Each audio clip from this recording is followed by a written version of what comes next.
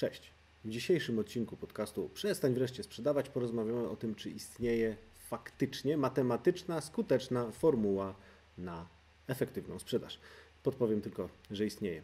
Zatem zapraszam do naszej rozmowy, a dowiesz się, jak taką formułę wykorzystać w codziennej pracy. I pamiętaj o hashtagu Przestań wreszcie sprzedawać. Do zobaczenia.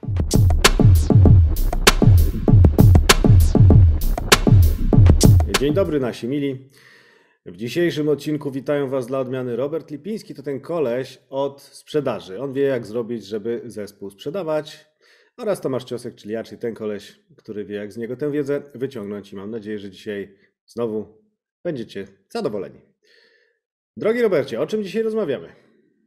Tak jak ostatnio zapowiadaliśmy, mm, dzisiaj porozmawiamy trochę o matematyce, trochę o magii, e, które mają sprawić, że sprzedaż jest skuteczna i efektywna. E, I myślę, że wprowadzimy dzisiaj taki element metodyki sprzedażowej, który stosuję, czyli formułę sprzedaży. Super, czyli będzie e, samo mięcho. Jest taki kebab niedaleko mnie, nazywa się samo mięcho, ale ponoć niesmaczny, więc nie polecam. Natomiast nazwa uważam, że jest naprawdę całkiem niezła. Natomiast zanim przejdziemy do merytoryki, Robercie, zapomnieliśmy o jednej najważniejszej rzeczy. Prosimy Was o lajki, udostępnienia, serduszka czy cokolwiek w tych systemach, których nas lubicie oglądać. Występuje. Skoro już mamy to, przechodzimy do merytoryki. E, powiedz mi, Robercie, jak to jest, że wypowiedziałeś przed chwilką w jednym zdaniu matematyka, magia i to wbrew pozorom nie jest jakaś ogromna sprzeczność? No nie jest. Wypowiedziałem to w jednym zdaniu, dlatego że y, te obydwa sformułowania łączą mi się z, z trzecim, które użyłem, czyli formuła. Formuła się kojarzy właśnie z jakąś formułą magiczną, Harrym Potterem i jakimiś innymi różnymi takimi śmiesznymi rzeczami, ale również się wiąże z, z tym, co w Królowej Nauk, tak? czyli mhm. jest jakaś formuła matematyczna. A z tego zbitku słów użyłem dlatego, ponieważ jak e, pracuję z moimi klientami, to bardzo często spotykam się z tym, że kiedy zaczynamy wprowadzać elementy metodyki i e, rozmowy o chociażby tej formule, no to takie padają komentarze, że no sprzedaż to przecież y, nie jest matematyka, a sprzedaż też to nie jest magia. Mhm. No i takie różne dyskusje doprowadziły do takiego myślenia na temat tej formuły. No właśnie, wiesz, to jest. Y, ja pamiętam, bo nie wiem, czy wiecie, drodzy Państwo, ale my z Robertem już o tym rozmawialiśmy wcześniej, zarówno przygotowując się do tego odcinka, jak i podczas projektów. E, że ja wiem, co to jest ta formuła i na czym ona polega, więc te pytania mogą być nieco tendencyjne. E, dodam tylko, że formuła, o której za chwilkę Robert powie nieco więcej w szczegółach, to jest formuła zawierająca pomiędzy poszczególnymi składnikami kropeczki, czyli to chodzi o mnożenie. Tak e, I tutaj, ja nie wiem, Robert, w ogóle, czy to jest Twój produkt, czy gdzieś e, zapożyczyłeś? Z nie, to ja tego, ja tego nie ukrywam i ja tego nie zapożyczam, ja, to, ja z tego czerpię. To jest e, element, który został opisany przez Kifa Itza w książce The New Solution Selling z 2005 roku, bodajże jest ta książka. E, natomiast powiem Wam szczerze, jak tę książkę kiedyś czytałem, e, ogólnie ją polecam, to jest książka dostępna na Amazonie w języku angielskim, nie ma tłumaczenia póki mhm. co, to ta formuła zawiera e, dosłownie na taki urywek tej książki z jakimś tam opisem może kilkulinijkowym, cała książka liczy tam kilkaset stron. Więc ja nie wiem, dlaczego tak to zostało nieuwypuklone, natomiast dla mnie to był game changer. To ja jeszcze dodam, zanim zaczniemy o tych poszczególnych jej składnikach, E, bardzo mi się podoba, Robert, e, jak to będziesz za chwilkę podkreślał, odnośnie tego, że ta formuła jest jednak iloczynem, a nie sumą poszczególnych e, rzeczy, że w zasadzie wystarczy, żeby jedna z nich nie zadziałała i to wszystko się rypnie, mówiąc bardzo kolokwialnie. Co jest jeszcze fajne w tym, że to jest iloczyn, to bardzo często mamy do czynienia z takimi sytuacjami, w którym ktoś powie, a ja to jestem kiepski z tego, więc olewam ten element, za to nadrobię, wiecie, tańcem i fikołkami przed klientem, moja mowa sprzedażowa będzie taka, że po prostu klękajcie narody. A okazuje się, że mm, jeśli postępujemy zgodnie z tą metodyką, o, której mówimy cały czas, no to nie da się zrobić takiego myku, że po prostu o jednych y, y, elementach zapomnimy albo ich po prostu nie uwzględnimy resztą nadrabiając. No niestety mnożenie jest bezwzględne. A dlaczego? No właśnie, Robercie, dlaczego mnożenie akurat w tej sytuacji jest bezwzględne?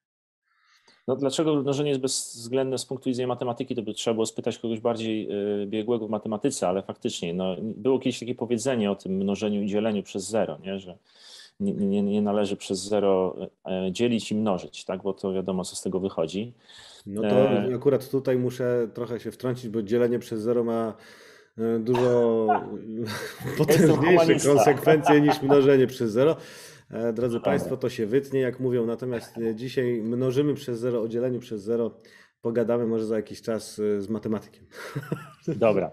No więc dlaczego to jest takie ważne? Dlatego, że jak za chwilę zresztą zobaczycie, udostępnię ekran, na którym pokażę tą formułę, to po lewej stronie tego całego równania mamy coś, na czym nam zależy.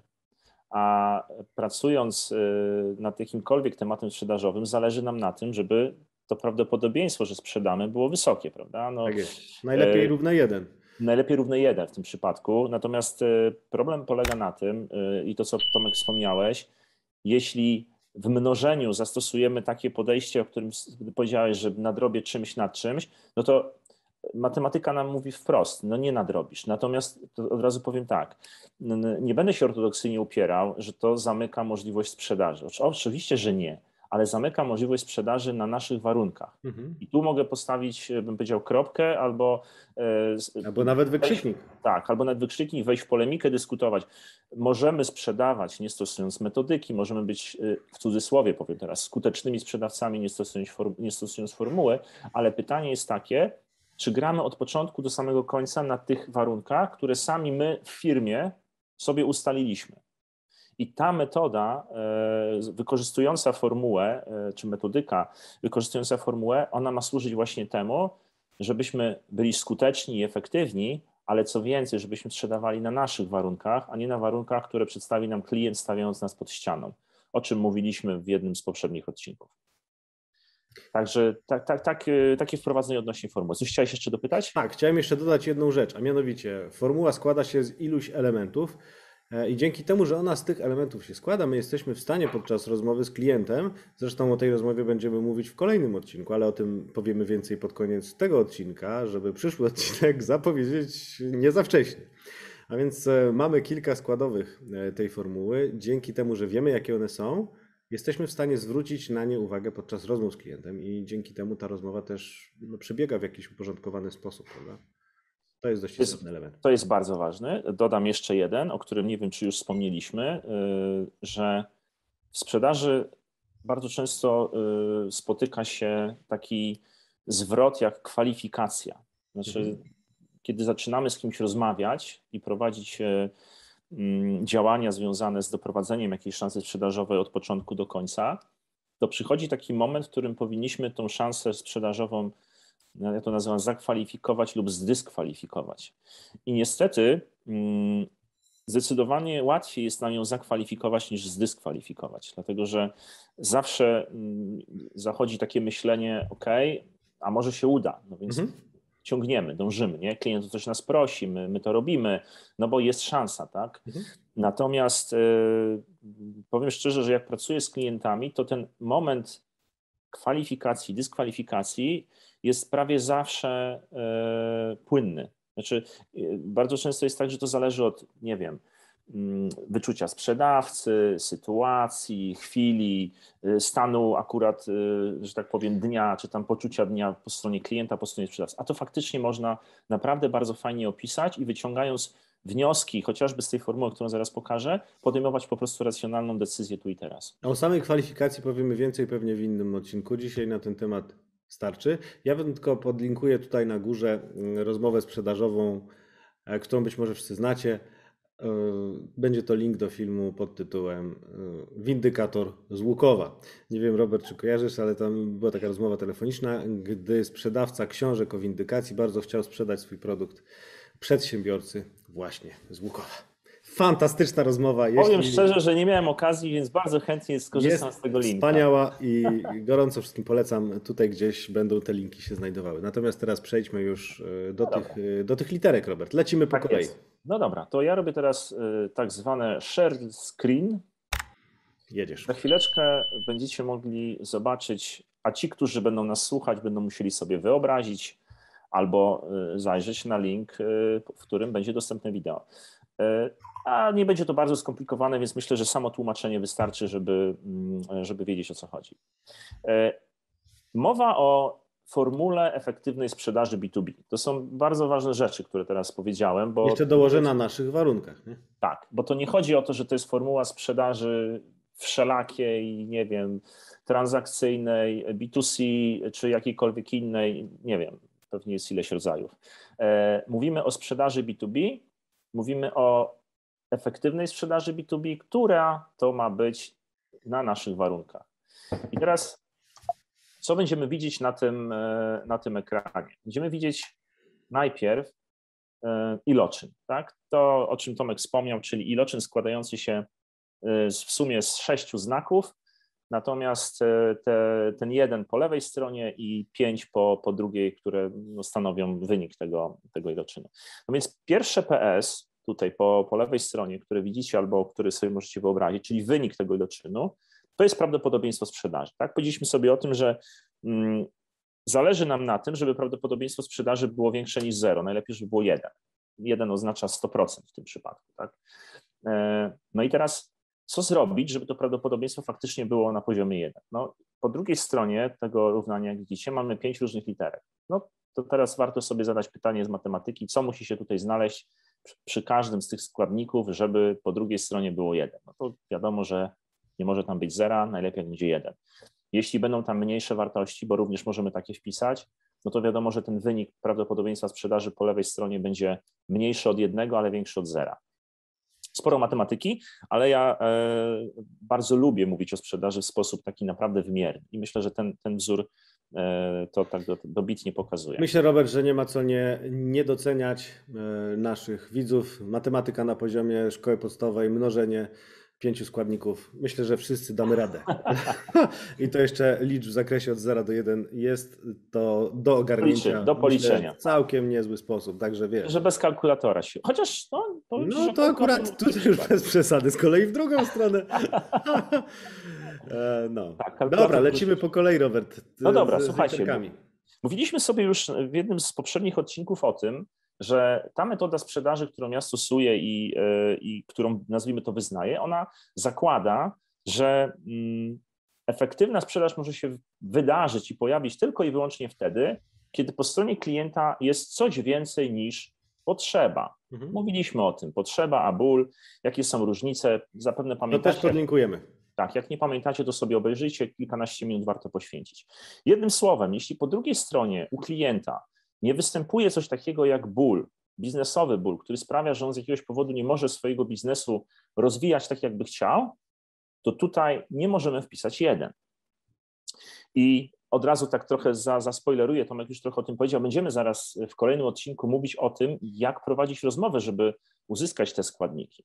No więc jeśli mamy ból, no to idziemy dalej. Co więcej, Kolejny element, który jest mega ważny i bez którego y, mogę położyć, że tak powiem, jedną czy dwie ręce nawet, że nie wydarzy się sprzedaż na naszych warunkach, ona się może wydarzyć, ale niekoniecznie na naszych warunkach, to jest to, czy po drugiej stronie mamy dostęp do osoby, która jest faktycznie takim, bym powiedział, finalnym decydentem, czyli osobą, która może jako jedyna może powiedzieć finalne tak, bo jest bardzo dużo osób w procesie sprzedaży, które nam mogą powiedzieć nie.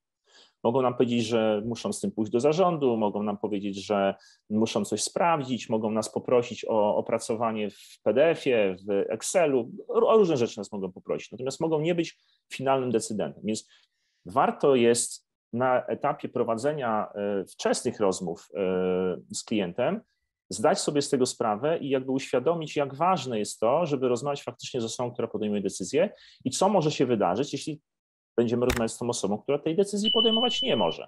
Z tego prostego wzoru wiemy, że może być zero w prawdopodobieństwie albo jakaś mniejsza wartość niż jeden. Tak, bo dodajmy, że nie zawsze jest realne e, rozmawiać z osobą, która tę decyzję podejmuje. E, nie zawsze jest to realne, ale właśnie może dobrze, że to powiedziałeś. W metodyce, e, którą ja stosuję, jest rozróżnienie na dwie role: na sponsora mhm. i power sponsora.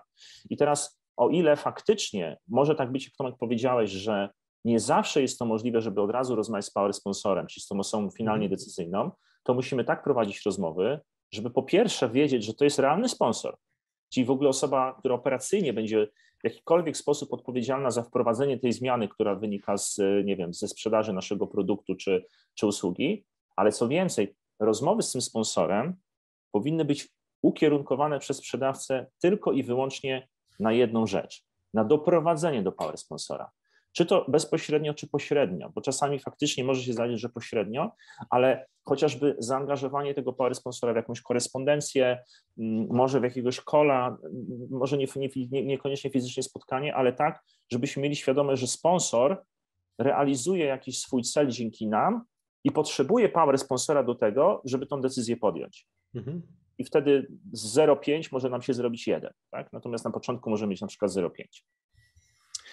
Kolejna mega ważna rzecz, którą e, również e, trzeba wręcz, e, stosując tę metodykę, brać pod uwagę, to jest coś, co nazywa się wizją. No i tutaj dwa słowa komentarza. Nie chodzi tutaj o mm, jakąś taką, nazwijmy to, wizję, którą sprzedawca, mając ogromne doświadczenie w sprzedaży swoich produktów czy usług, mając, że tak powiem, w plecaku kilkanaście czy kilkadziesiąt różnych gotowych przykładów, case'ów z podobnych projektów, roztoczy przed klientem. Absolutnie nie o taką wizję chodzi. Ta wizja, którą sprzedawca roztoczy nad klientem, to będzie wizja krótkoterminowa. Klient może się nawet na nią kupić, w cudzysłowie, znaczy może ją kupić i może e, się na to w cudzysłowie złapać, natomiast on po pewnym czasie zda sobie z tego sprawę, że to był tak naprawdę zabieg sprzedawcy. Wyobraźcie sobie teraz taką sytuację, kiedy przychodzi do Was sprzedawca i mówi Wam, jak będzie fajnie. I prawdopodobnie nie, nie, jedna, nie, jedna z osób, które nas oglądają, ja sam wielokrotnie miałem takie przykłady, że ja kupowałem tą wizję, tylko później, jak ten sprzedawca już wyszedł, ja ochłonąłem, minęły pewne emocje e, i miałem tą tak zwaną noc na to, żeby się przespać z decyzją, to ja dochodziłem bardzo szybko, kurczę, ale to nie była moja wizja, to, to ten sprzedawca mi to pokazał. I teraz w tej wizji chodzi o to, że my jako sprzedawcy możemy tylko i wyłącznie asystować w tym, żeby klient tą wizję sam sobie stworzył. On jej na początku może nie mieć. I co to jest za wizja? To jest wizja świata, w którym ten klient nie ma już bólu. Czyli jeśli on miał jakiś ból biznesowy, który, nie wiem, uniemożliwia mu coś, rozwój jakiś, nie wiem, robienie czegoś, w czym my możemy mu pomóc, to wizja jest czymś, co pokazuje ten świat już po usunięciu tych przeszkód. I tutaj też jeszcze bym dołożył jedną rzecz, bo E, to, o czym mówisz, jeśli sprzedawca narysuje klientowi swoją wizję, to nie jest do końca idealne rozwiązanie, natomiast nie jest też idealnym rozwiązaniem, gdy klient przychodzi i mówi, a wiesz, widziałem jak zrobiłeś to w firmie X, ja chcę to samo. Tak, to też to jest nie pewien punkt wyjścia, natomiast ostatecznie ta wizja jednak mimo wszystko musi być dostosowana do tego, co nasz klient faktycznie chce osiągnąć. To odnośnie wizji dam tutaj taki mały hint. Y, warto jest zawsze klienta zapytać, po czym pozna, że warto było zainwestować w to rozwiązanie, w tą zmianę, w ten zakup. Po czym on to pozna? I to, ta, za tym zazwyczaj kryje się wizja. E, on wtedy raczej nie powie, a jak będzie to, to, to i to, to co było tu i tu, tylko zazwyczaj e, głębiej spojrzy w swój własny biznes, swoją własną sytuację i pokaże pewne elementy, które pewnie ulegną zmianie. No i to jest, to jeszcze nie musi być wizja, ale to będą miejsca, w których warto, warto tej wizji poszukać. Tak jest. No dobrze, idźmy dalej. E, Kolejna rzecz, która y, jest mega ważna, y, jak każda z tych literek, mm, to wartość. Tylko od razu znowu tutaj skomentuję. Tu nie chodzi tylko i wyłącznie o, o to, co sprzedawcy bardzo często nazywają mm, korzyścią, tak? czyli już kiedyś o tym chyba mówiliśmy, o tym języku korzyści, czyli pokazujemy jakiś produkt, po czym pokazujemy, jaka z niego płynie korzyść. Nie? To nie o taką wartość czy korzyść chodzi. Tu chodzi bardziej o to, co po stronie klienta e, faktycznie ulegnie wymiernej zmianie. I tutaj podkreślam słowo wymiernej, czyli to nie musi być policzone w pieniądzu. Oczywiście wszystko na koniec można przeliczyć na pieniądze, na pieniądze mhm. ale chodzi o to, żeby uzyskać od klienta taką informację na temat tego, co ta wizja, którą przed chwilą sobie stworzyliśmy, sprawi dla jego biznesu w sposób wymierny. Czy nie wiem, to może być jakiś wzrost procentowy czegoś, może być jakiś spadek, nie wiem, fluktuacji na przykład, może być skrócenie jakiegoś czasu, może być zwiększenie mm, jakiejś tam ilości mm, produkcji, może być skrócenie tak zwanego time to market, tak, czyli szybsze wejście na rynek. To naprawdę może być wiele, wiele elementów i te elementy dopiero warto przeliczać na pieniądze, czyli jak sobie uzmysłowimy, co klient osiągnie dzięki temu, co z nami zrobi, to potem jak przeliczymy to na pieniądze, to ta wartość bardzo nam pomoże w momencie, kiedy ten klient podczas powiedzmy tam dalszych rozmów będzie nas na mhm. przykład, nie wiem, cisnął na zmniejszenie ceny. Zawsze będzie mógł być OK, ale zwróć uwagę, ty liczysz na taką i taką konkretną wymierną wartość. Ona cię kosztuje X, a wyciągasz z tego X razy 10. Wielokrotnie miałem takie sytuacje, kiedy z klientami to, że na początku ustaliliśmy sobie tą wizję i wartość, pozwoliło nam na koniec e, jakby uzmysłowić klientowi, że tak naprawdę to on nie wydaje dużo pieniędzy. Bo znowu, do czego zmierzam? E, e, możemy sprzedawać bez metodyki, możemy sprzedawać bez tej formuły. Tyle tylko, że ja bym chciał przekazać tutaj wiedzę na temat takiej sprzedaży, która pozwala sprzedawać na własnych warunkach, ale również pozwala sprzedawać drogo, znaczy pozwala sprzedać na takich warunkach, na jakich faktycznie my się cenimy. Nie chcemy być najtańsi, absolutnie. Jeśli chcemy być najtańsi, to w ogóle żadna formuła nam nie jest potrzebna, tylko formuła taka, e, e, ile marży możemy, e, ile musi być marży, żebyśmy przeżyli. Mhm. Ale o takiej sprzedaży absolutnie nie mówimy. Ja w ogóle nie lubię tych określeń, wiesz, drogo, tanio, no nie, no bo to jest wszystko bardzo, bardzo płynne i mocno zależy od tego, do czego się odnosimy. Nie? Czyli generalnie wolałbym chyba określenie że będziemy sprzedawać na tyle, żebyśmy byli naprawdę mocno zadowoleni i byli w stanie robić dobrze to, co robimy, a nie po prostu lecieli z, z jednego do drugiego, tak? Bo to mamy taką sytuację chociażby w, no, w rzeczywistości lekarskiej. Wiesz, ja, ja też Tomek nie lubię takich uogólnień typu drogo, tanio, bo zawsze to jest względne, masz rację. Natomiast e, jeśli miałbym wybrać jedno z tych dwóch, to zdecydowanie wolę wybrać drogo niż tanio. Dlatego, Zależy, że tanio... czy kupujesz, czy sprzedajesz. Nie, no oczywiście sprzedając, bo, bo sprzedając, bo sprzedając no e, coś tanio, e, zazwyczaj musisz się odnieść do rynku i tak naprawdę porównywać się do tych, którzy są od ciebie tańsi. Mhm. Mówiąc drogo, ja mówię w kontekście takim, że w ogóle abstrahując od konkurencji. Tak się wyceniamy, i za tą wyceną nie idzie porównanie się do konkurencji, tylko za tą wyceną idzie zrealizowanie celów biznesowych naszego klienta. Mhm. Jest całkowicie odcięcie się od tego myślenia właśnie negocjacyjnego. Zdecydowanie. I teraz przechodzimy do ostatniej literki, czyli żeby móc działać w ten sposób, trzeba by jednak nad tym procesem mieć kontrolę. Dokładnie tak. I to jest, e, jak to mówią, last but not least, czyli ostatnie, ale nie najmniej ważne. Ja myślę, że to e, trudno tutaj mówić o tym, co jest ważne, co jest nieważne, natomiast, e, czy tam co mniej ważne lub bardziej ważne. Natomiast ja z moich doświadczeń obserwuję, że ta kontrola to jest coś, co sprzedawcy nagminnie oddają klientowi. I myślę, że to nie jest przypadek, że gdzieś narodziło się takie powiedzenie, które już kiedyś tutaj przywoływaliśmy na jednym z odcinków, czyli klient nasz pan, tak? Mhm. E, którego ja nie, nie, za bardzo lubię i z którym się nie do końca zgadzam, ale to powiedzenie powoduje, że sprzedawca nawet czasem chętnie oddaje tą kontrolę. E, I, i co to powoduje? No powoduje to, że to nie my stajemy się rozgrywającym procesu sprzedaży, nie my jesteśmy szefem tego procesu, tylko de facto staje się nim klient. A ja zawsze mówię w tym, momencie, klient może sobie szefować swoją firmą, swoimi pracownikami, może sobie szefować procesem zakupu, ale procesem sprzedaży to my szefujemy. To nie, ma, nie jest tak, że klient kupując coś od nas ma prawo mieć kontrolę nad procesem sprzedaży. I teraz jak tą kontrolę w ogóle rozpoznać i jak, w, jaki, w jaki sposób ją prowadzić? Jeśli posiadamy proces sprzedażowy, to chodzi właśnie o to, żeby od samego początku do samego końca pokazać klientowi pewien rodzaj leadershipu, e, czyli my wiemy, czym zaczynamy i czym skończymy. Jak Kowej kiedyś w siedmiu nawykach skutecznego działania pisał o tym, żeby zaczynać z wizją końca. Tak jest. Jeśli zaczynamy z wizją końca i mamy ten proces opisany od początku do końca, to my jesteśmy w stanie tego klienta bardzo fajnie poprowadzić krok po kroku, mówiąc mu wręcz, co się wydarzy w kolejnym i przygotowując klienta na to, co się w tym kolejnym kroku wydarzy. I bardzo ważne, domykając każdy kamień milowy, który się wydarzył. Domykając mam na, mam na myśli to, że potwierdzamy z klientem, że faktycznie ty uznajesz to, że ten kamień został zamknięty, tak, to osiągnęliśmy, idziemy dalej. I teraz, jeśli my tą kontrolę posiadamy, to jesteśmy w stanie doprowadzić ten proces sprzedażowy właśnie na naszych warunkach, drogo tam, czy, czy jakkolwiek inaczej to nazwałeś, ale właśnie na tych naszych warunkach, które sprawiają, że my nie musimy przysłowiowo ściągać tych spodni na koniec. Tak jest. Jeśli tą kontrolę oddamy, klient zabierze nas tam, gdzie chce, klient nas w cudzysłowie mówiąc wykorzysta, klient zrobi z nas swoich pośredników, o czym mówiliśmy w poprzednim odcinku, będzie chciał czegoś od nas, my będziemy negocjować z szefem, żeby mu to dostarczyć i tak dalej, i tak dalej. Sprzedawca, nieważne czy jest sprzedawcą etatowym, właścicielem firmy, key account managerem, przedstawicielem, obojętnie. Kiedy idzie do klienta, to jego kluczową taką, powiedział, odpowiedzialnością jest to, żeby mieć kontrolę nad procesem sprzedaży i tej kontroli nigdy nie oddać. I to tyle. I to tyle.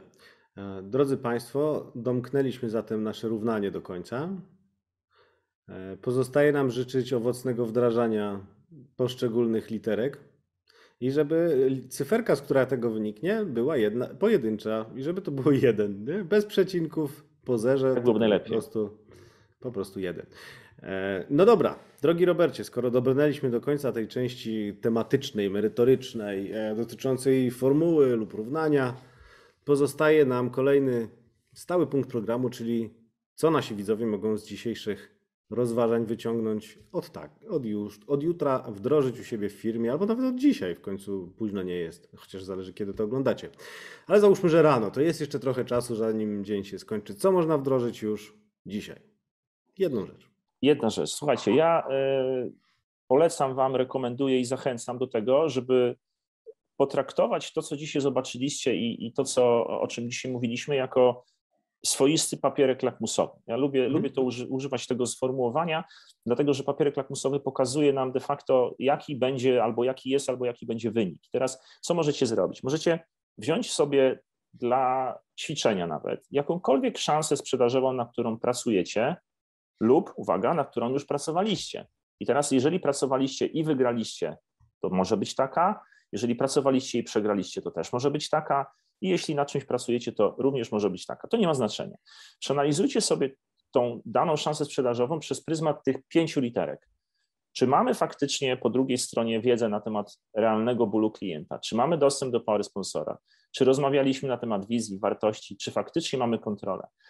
Jeśli zrobicie sobie szczerze przed samym sobą taką, takie ćwiczenie, to zobaczycie, co wam z tego wyjdzie. No i po zrobieniu tego ćwiczenia będziecie wiedzieli, czego wam brakuje. Bo być może się okaże, że brakuje wam nie czegoś z tej literki, a na przykład brakuje wam procesu sprzedażowego, zgodnie którym możecie się po, poruszać, ale może wam brakuje właśnie dostępu do power sponsora. Może trzeba poprosić kogoś z firmy, żeby pomógł wam dotrzeć gdzieś wyżej. Jakby rozwiązania są różne, ale ja zawsze mówię, lu- lubię mówić, że w sprzedaży najważniejsza jest prawda i lubię też używać zwrotów obiektywizacja sprzedaży. Czyli nie szacowanie, myślenie o tym, co mogłoby być, bo mamy relacje, tylko oparcie się o twarde fakty. I ta formuła sprzedażowa może Wam to pomóc zrobić bardzo łatwo. Myślę, że 15 minut y, poświęcenia y, czasu na przeanalizowanie szansy sprzedażowej przez pryzmat tego, y, tej formuły na pewno nikomu nie zaszkodzi. I tej wersji się trzymajmy. E, Oczywiście w komentarzach liczymy bardzo mocno na to, że podzielicie się z nami wynikami analiz waszych własnych firmowych formuł. Jak to idzie? Czy faktycznie ma to jakikolwiek związek ze sprzedażą? Bo może powiecie, wiecie co, u mnie to nie działa, moja firma jest specyficzna, w tej branży to nie zadziała. E, Może tak jest. Podzielcie się przemyśleniami i analizami w komentarzu. A W ogóle możecie też powiedzieć, która z tych literek, czyli y, który z tych elementów e, równania jest dla Was najważniejszy, najtrudniejszy, wymagający najwięcej trudu, czy ten, który najchętniej byście pominęli, e, stwierdzili, że nadrobimy w innych obszarach. A może ktoś ma jakąś inną literkę, O właśnie. która się okaże generyczna dla wszystkich komentujących. I, I rozbudujemy formułę razem. Tak. Będzie fajnie. Dobra, tymczasem słuchajcie, zbliżamy się do końca. Chciałem powiedzieć pomału, ale w zasadzie to dość dużymi krokami. Zapraszamy Was na kolejne spotkanie, w którym troszkę opowiemy o tym, jak poprowadzić spotkanie. E, Mówiliśmy sobie dzisiaj o formule, no i elementy do tej formuły trzeba by jednak wyjąć ze spotkania z klientem. Jak to zrobić? Nasz mistrz sprzedaży Robert opowie o tym już w kolejnym odcinku, który być może za tydzień, a być może za dwie minuty, jeśli już oglądasz nas w przyszłości. Możesz sobie po prostu kliknąć kolejny odcinek. Gorąco zapraszamy. Zapraszamy też do lajków, udostępnień, komentarzy i wysyłania bezpośrednio wiadomością prywatną lub publiczną lub mailem do tych, którym wydaje Wam się, że ta wiedza może być przydatna. Wszystkiego dobrego, do zobaczenia i dziękujemy. Pa. Nie, jeszcze chwila. Ponieważ nie wprowadziliśmy hashtaga, Aż cholera zawsze zapominam. a, jestem strażnikiem, e, przestań wreszcie sprzedawać. Tak, Polskimi oczywiście. znakami, z haszem na początku. E, Taka w ogóle jest oczywiście, e, taki jest tytuł tej serii. Też to się chyba dzisiaj nie pojawiło. Dosyć wnikliwie słuchałem, ale, ale po to tu jestem, żeby na Następnym razem wprowadzić- nakleję sobie na monitorze, będę pamiętał. Dziękujemy bardzo. Dziękuję Tomek. Pozdrawiamy wszystkich serdecznie i do zobaczenia. Dziękujemy Wam, dzięki Robercie. Trzymajcie się ciepło. Do zobaczenia. Pa. Cześć.